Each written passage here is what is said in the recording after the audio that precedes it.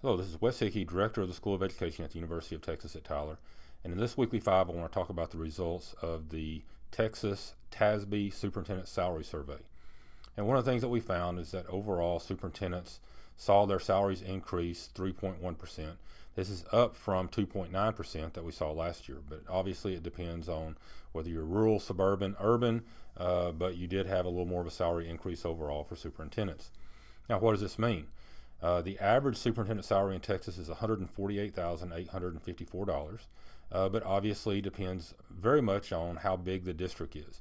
In districts with fewer than 500 students, the average superintendent salary is 97,270.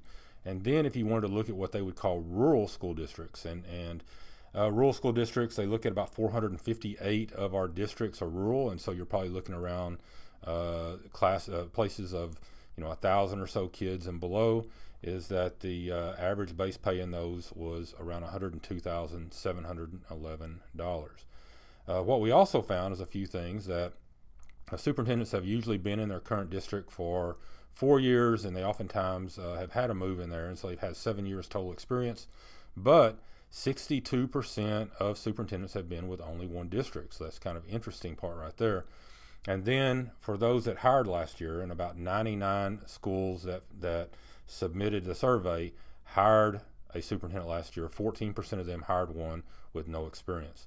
Now, I'll tell you that the superintendent job is nowhere close to the toughest job in schools. I will tell you that I believe that high school principals have the toughest job in the school, followed by middle school principal, followed by elementary principal, followed by athletic director, and then you can probably put the superintendent in there someplace. But an old friend of mine used to say that the superintendent job is that uh, 90% of the time they were overpaid, but 10% of the time there's not enough money for what they have to do. And that's probably true. And remember here at UT Tyler, let us know what we can do and inspire and educate, be an architect of human potential.